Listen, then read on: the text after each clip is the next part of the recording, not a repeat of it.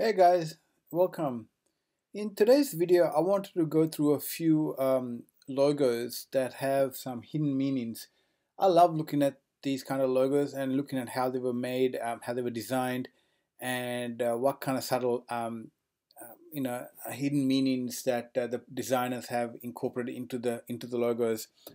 Most of you will know these. Uh, I just thought I'll create a video for those who don't, um, and use some some well-known brands. So let's get started looking at the first one, which is a well-known brand, uh, one of the biggest e-commerce websites in the world.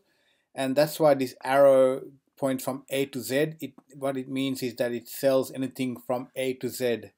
So that's pretty cool. And also the shape of the um, arrow, it just uh, you know shows that it's a smiley face. So they do it with a smile. Next one is the F1 formula. When I was doing my research for these uh, logos, I found that F1 has actually replaced uh, the one on the left, which is the older one, with the one on the right. I find that the one on the left, the older one, is a lot nicer for me. That's my personal opinion. Please comment below and let me know what you think. And I love how they've used the, um, the negative space or the white space here with the one within the F and these uh, these wings or this wing shape thing. So it says, so it, the word is F1 right here. That's pretty cool. Next one.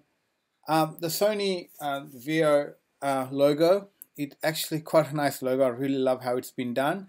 The first part of the logo, this, this line here is actually the analog line, represents analog. And the other two here, the 1 and the 0, represents digital. So it basically tells you it goes from analog to digital. That's pretty cool, that one. The next one is obviously well known FedEx, uh, you know, delivery company. Uh, the the cool thing about this is how between the uh, E and the X is actually an arrow that points to the right, meaning they're moving forward, meaning you know they're delivering.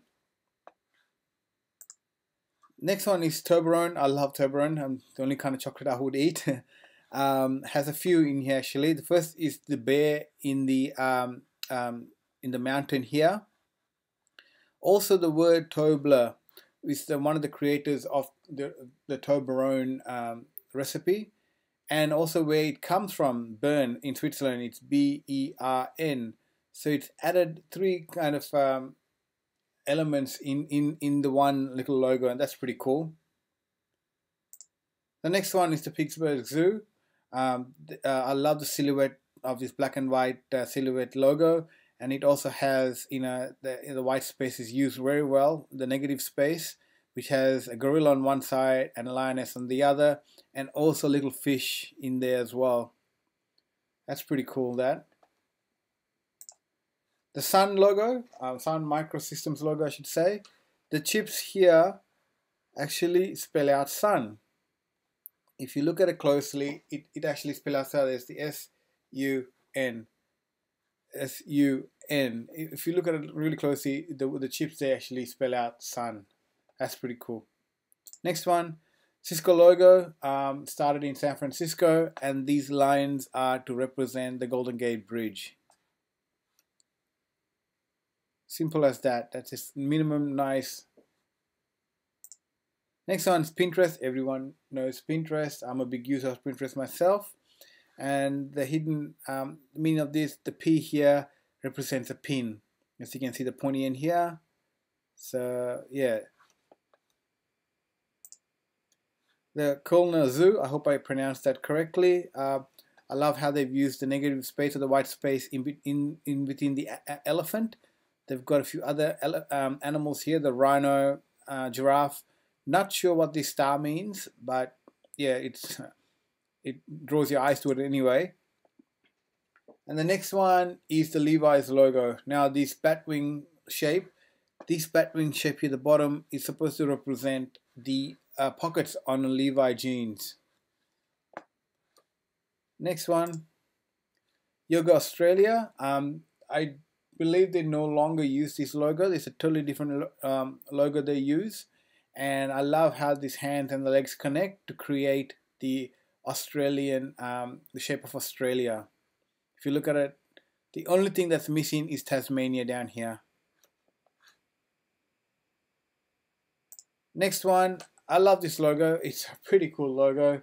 Uh, the Spartan Golf Club. It um, it shows a silhouette of a golfer hitting the ball, which is going all the way here. And if you look on the side, you can actually see the Spartan helmet. Here's the face, the eye, and the helmet. That's pretty cool. Next, and the last one, the Bronx Zoo. Now, again, this logo, I believe they don't longer use it. Uh, this is an old logo. I love this logo. And it has, uh, they've used the negative space quite nicely with uh, buildings from um, New York to represent, uh, you know, the, the city of New York. That's pretty cool. I hope you enjoyed that guys. It's something I, I love looking at these logos and how they're designed and finding the hidden meanings behind them, learning about what those hidden meanings mean. Um, like I said, if you um, if you like that uh, video, don't forget to comment below. Let us know what you think.